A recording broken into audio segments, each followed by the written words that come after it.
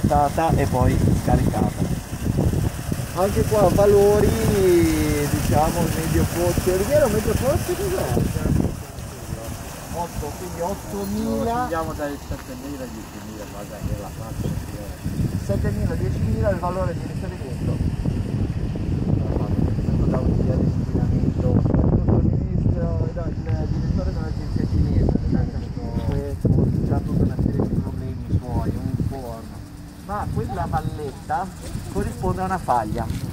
Quindi c'è una faglia geologica che fa infiltrare acqua da monte e ce la ritroviamo poi in risurgiva qua sotto. Vedete quella parte lì non è più muro lì sotto, ma c'è la parte rocciosa.